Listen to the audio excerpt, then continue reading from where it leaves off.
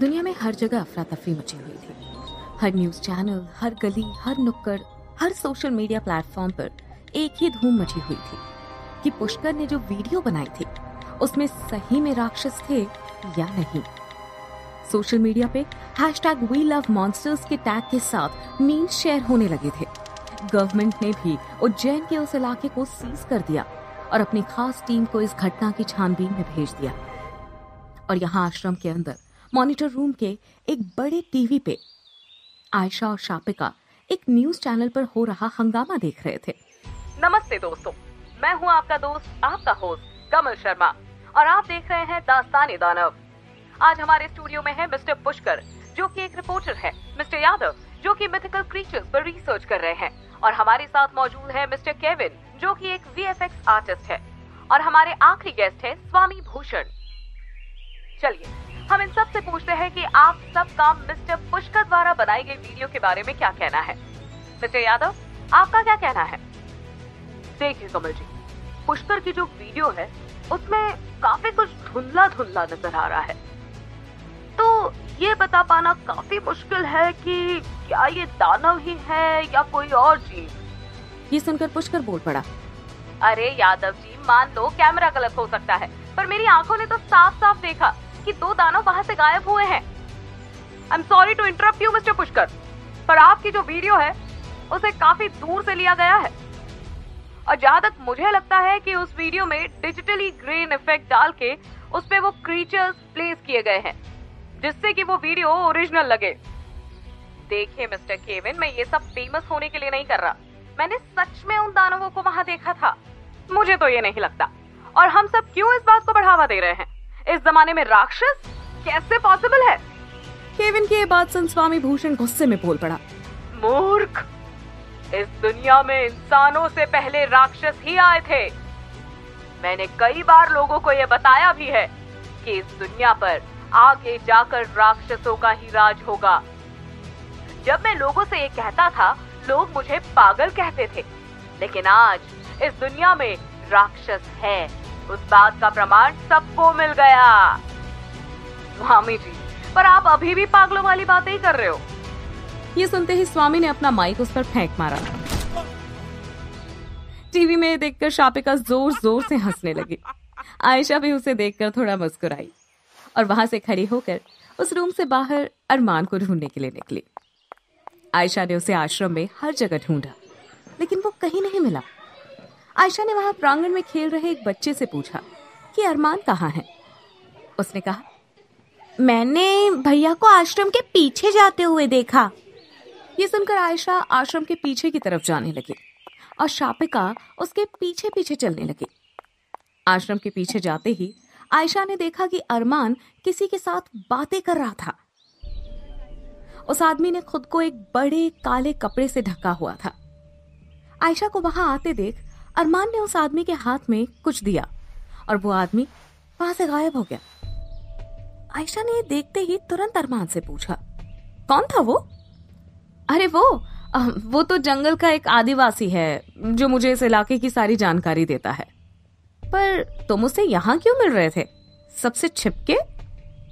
अरे वो तो आ, मुझे उससे अरमान आगे कुछ कहता उससे पहले ही आयशा वहाँ से भागकर आश्रम के अंदर जा पहुँची। अरमान और शापिका उसके पीछे दौड़े।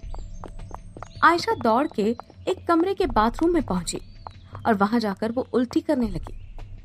उसे उल्टी करता देख अरमान चौंक गया, क्योंकि वो खून की उल्टी कर रही थी। शापिका उसके नज़दीक जाकर आयशा की पीठ सहलाने लगी। अरमान भी उसके नज़दीक आया। खून की उल्टी देख आयशा भी परेशान हो गई। उसने अरमान की ओर देखा। अरमान, ये मुझे क्या हो रहा है? ये सुनते ही अरमान कुछ कहे, उससे पहले शापिका ने कहा, अरे, तुम एक दिव्य जीव को जन्म देने वाली हो, और इसीलिए तुम्हें इतनी तकलीफ़ हो रही है। पर चिंता मत करो, ये खून की उल्टी होना तो साधारण सी बात है। शापिका, क्यों झूठ बोल रही हो? उसे सच जानने का पूरा हक है। ये कहते हुए अभिलाषा ने उस रूम में प्रवेश किया। ये सुनते ही अरमान बोल पड़ा कौन सा सच माँ? शापिका, बताओ इन्हें। अरे, पर दिव्य जीव। आयशा अभिलाषा के पास गई और शापिका की बात काटते हुए कहा, कौन सा सच? मुझे प्लीज़ सच बताइए। मैंने अब तक बहुत झूठ सुन लिया है। अब और झूठ सुनने की ताकत नहीं है मुझमें। ये कहकर आयशा अभिलाषा की ओर मायूस आँखों के साथ देखने लगी। अभिलाषा कुछ बोले, उससे पहले ही शापिका ने कहा अभिलाषा, मुझे नहीं लगता कि तुम्हें शापिका की बात काटने के लिए अभिलाषा ने अपने हाथ से चुप होने का इशारा किया।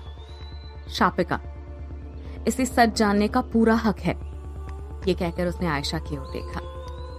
जिस रात तुम्हारी माँ मारी गई और कालराज मुझे मारने ही वाला था, तब कुछ राक्षसियों ने मुझे बचाया और जंगल की ओर मुझे लेकर भागने लगी। उन राक्षसियों में से एक राक्षसी शापिका भी थी। जब हम जंगल की ओर भाग रहे थे, तभी हमारा रास्ता दुष्काल ने रोका। दुष्काल काल के वंश के राक्षसों के गुरु थे, जो कई बार अंधेरी दुनिया से काली शक्तियों को खुश कर ताकत लेते थे। पर वो जितनी काली शक्तियों से ताकत माँगता, उतनी बार वो अपनी कोई कीमती चीज़ दांव पर लगाता और कमज़ोर हो जाता। लेकिन उसकी जबान बहुत काली थी। वो हमेशा उस काली जबान से कई राक्षसों को श्राप देता और वो पूरी ज़िंदगी पीड़ा में रहता।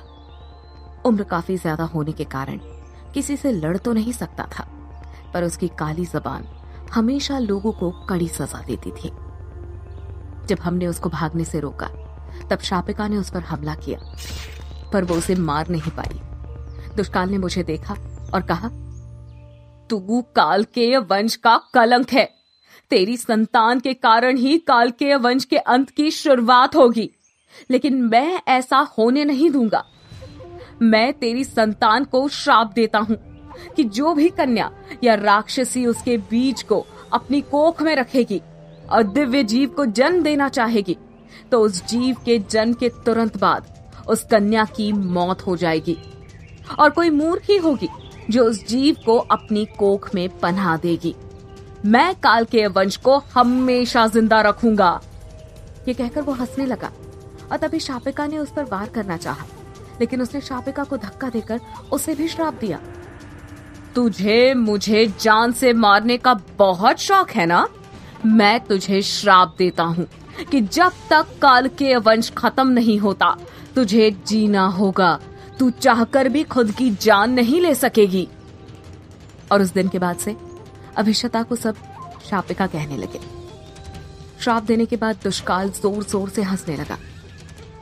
और तभी एक बड़ा सा तीर उसकी छाती के पार निकल गया। वो तीर पीछे से किसी देव ने उस पर चलाया था। वो देख हम सब राक्षसी जंगल की ओर भाग गए। ये सुनते ही अरमान घबराया और अपनी माँ के पास जाकर पूछा मतलब अगर आयशा ने हमारी संतान को जन्म दिया तो वो उसके जन्म के बाद तुरंत मर जाएगी? अभिलाषा ने धीरे से हाँ कहा।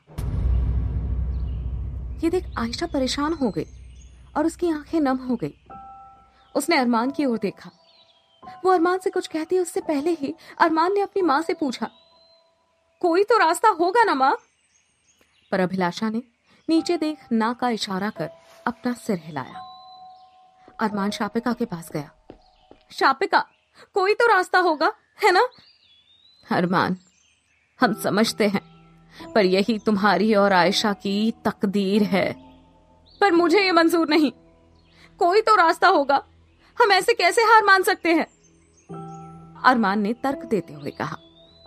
आयशा ये सुन के अरमान के सामने रोने लगी, और अरमान के नज़दीक जाकर उसने अरमान के गालों पर अपने हाथ रखते हुए कहा, देखो अरमान, मैं जानती हूँ कि मेरे और तुम्हारे लिए एक दूसरे से जुदा हो पाना मुश्किल है। लेकिन अगर मेरी कुर्बानी से इस दुनिया में शांति आती है तो मैं खुशी खुशी इसे जन्म दूँगी। लेकिन तुम ही तो कह रही थी कि इसके जन्म से पहले ही इतना बवाल हो रहा है तो आगे जाके क्या होगा? पर अरमान, तुम्हारी माँ ने मेरी माँ ने शापिका ने कितना कुछ सहा है और कितने दानवों और देवों ने अपनी कुर्बानी दी है। अगर शांति लाने का यही तरीका है तो मैं तैयार हूँ। ये सुन के अरमान रोने लगा। अभिलाषा उसे संभालने की कोशिश करती है। और तभी शापिका ज़ोर ज़ोर से चिल्लाते हुए कमरे की खिड़की की ओर भागती है। कौन है वहाँ? कौन है? क्या हुआ? अभिलाषा ने पूछा। मैंने किसी को हमारी बातें सुनते हुए देखा। ये सुनते ही अरमान और आयशा एक दूसरे की ओर देखने लगे। आयशा और अरमान की आँखों में एक अजीब सा दर्द दिख रहा था। क्या आयशा की मौत हो जाएगी? क्या अरमान आयशा को मौत के मुँह से वापस ला पाएगा? ये सब जानने के लिए सुनते रहिए। फना।